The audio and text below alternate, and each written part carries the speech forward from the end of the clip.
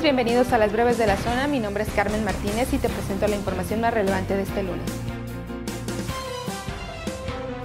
Nuevamente el presidente de México, Andrés Manuel López Obrador, ocupó espacio en la mañanera para referirse al papel del fiscal general del estado de Guanajuato, Carlos Amarripa Aguirre. Insistió en que al sumar 11 años en el cargo debe ser sustituido por sus nulos resultados. El mandatario federal aseguró que las cosas no mejoran en materia de seguridad en Guanajuato, a pesar de que en el estado hay presencia de elementos de la Guardia Nacional y del Ejército Mexicano. Aseveró que con respeto a la autonomía de los estados sí puede hacer recomendaciones.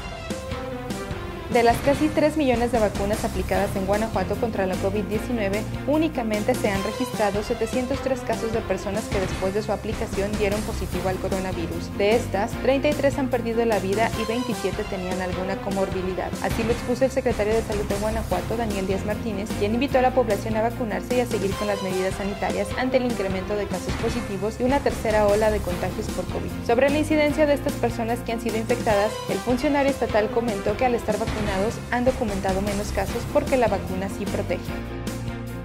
La Fiscalía General del Estado confirmó que prepara las actividades para la gestión del hallazgo de una fosa clandestina que fue reportada por parte de un colectivo de búsqueda de personas. A través de su canal de comunicación social, la dependencia estatal informó que el reporte del lugar donde fueron localizados restos óseos se encuentra en la carretera Manuel Doblado a Cueramaro a la altura de la comunidad Los Positos. Aunque no dio detalles sobre el reporte del colectivo hasta encontrarte, la Fiscalía se limitó a señalar que el personal ministerial realiza actividades para la gestión del hallazgo. El colectivo denunció que a pesar de que les aseguraron llegarían a realizar la exhumación, fue hasta las 11 de la noche cuando el personal de la Fiscalía General del Estado se presentó al lugar de la fosa clandestina.